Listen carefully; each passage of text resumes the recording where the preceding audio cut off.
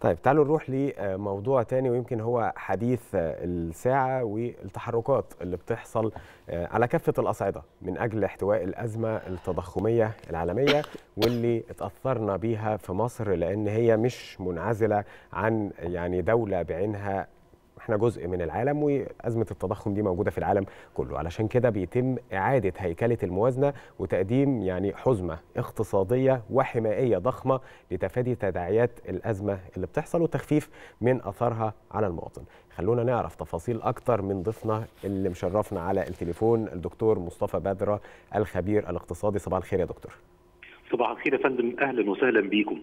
صباح الخير على حضرتك. دكتور يمكن كان امبارح في اجراءات يعني جديدة من مجلس الوزراء وهو الموافقة على مشروع الموازنة المالية للسنة المالية الجديدة.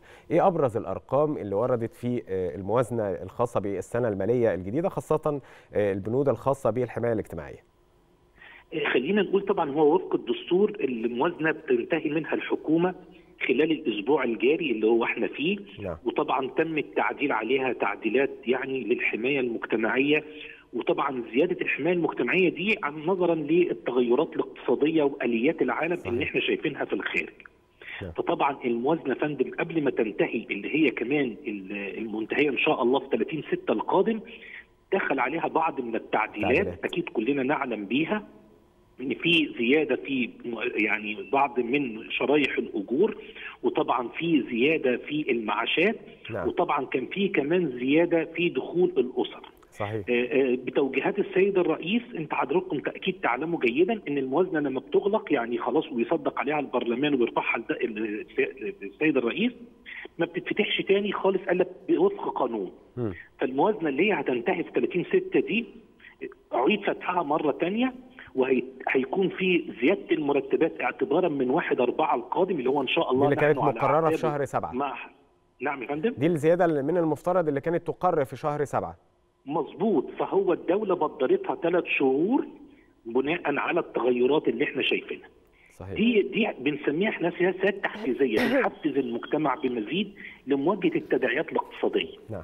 وطبعا ده هيدي اثر ايجابي إن شاء الله للمجتمع في زيادة الأجور وزيادة المرتبات زيادة دخول الأسر بحوالي 450 ألف أسرة لبرنامج حياة كريمة كمان.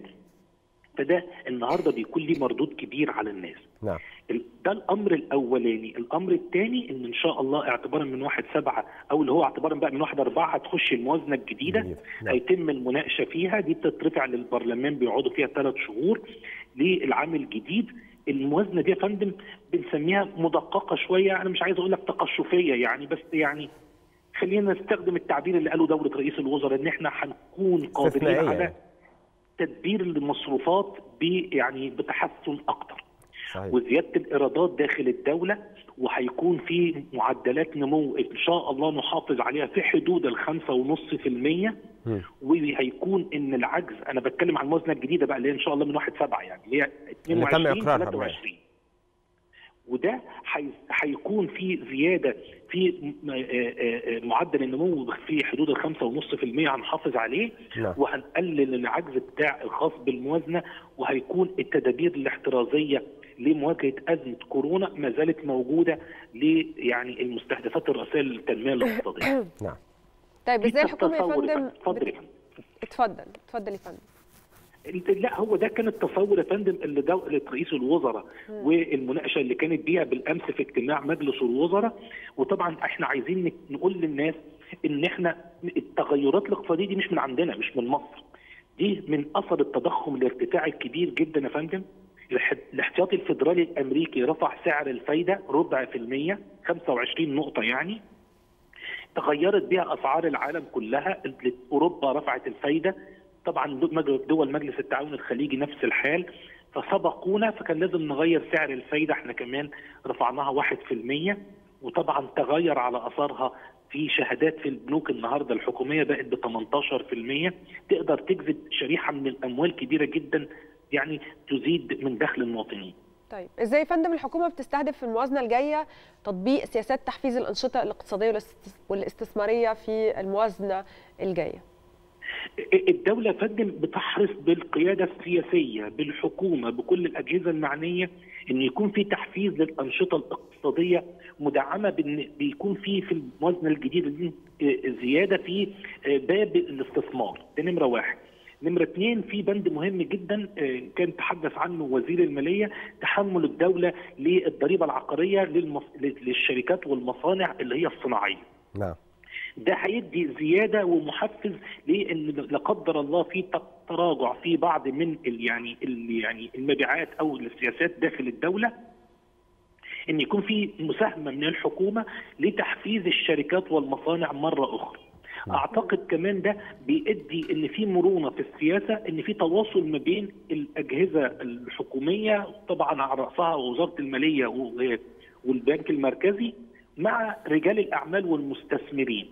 ده هيؤدي للاستقرار إن شاء الله السوق على خلفية طبعا كل الأحداث التضخمية الكبيرة اللي إحنا بنشوفها في العالم.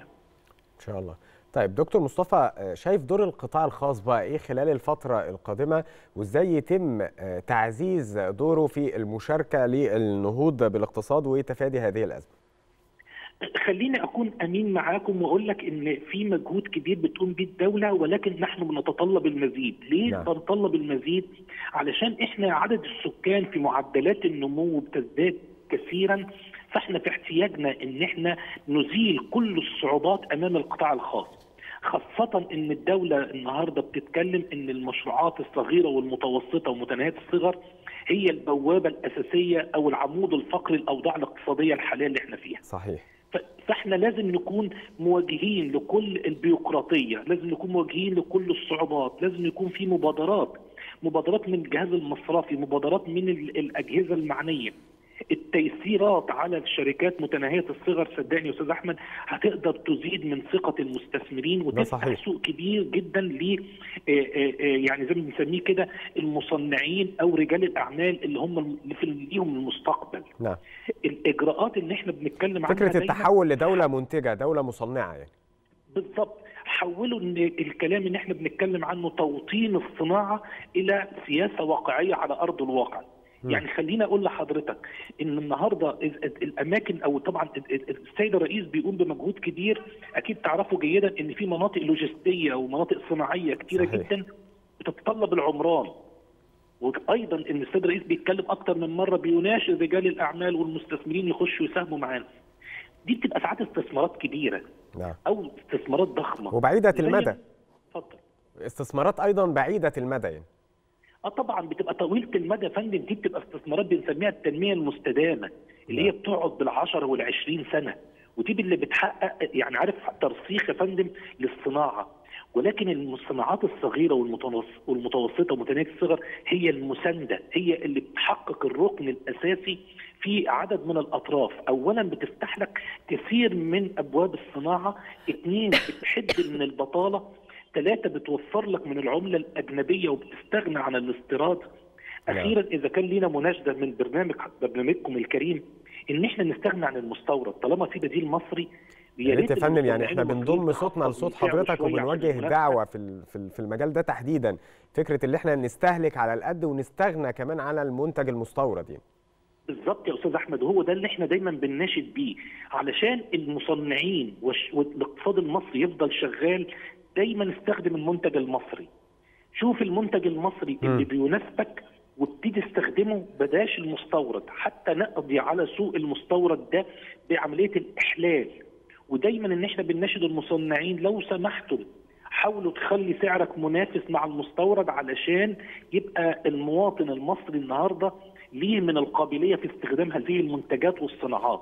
صحيح. الرؤية دي دايما لو فضلت أمام المجتمع المصري صدقني الاقتصاد بتاعنا مش بندور على النمو 5.5% لا هتلاقي النمو بتاعنا 8 و9% إن شاء الله بتوعية الناس إن إحنا النهارده المنتج المصري ده هو أساسنا في فتح بيوت المجتمع المصري بالكامل. وأزود على كلام حضرتك برضه يا دكتور مصطفى فكرة كمان دراسة السوق جيدا قبل توزيع المنتجات عشان نحقق نوع من أنواع العدالة في التوزيع يعني.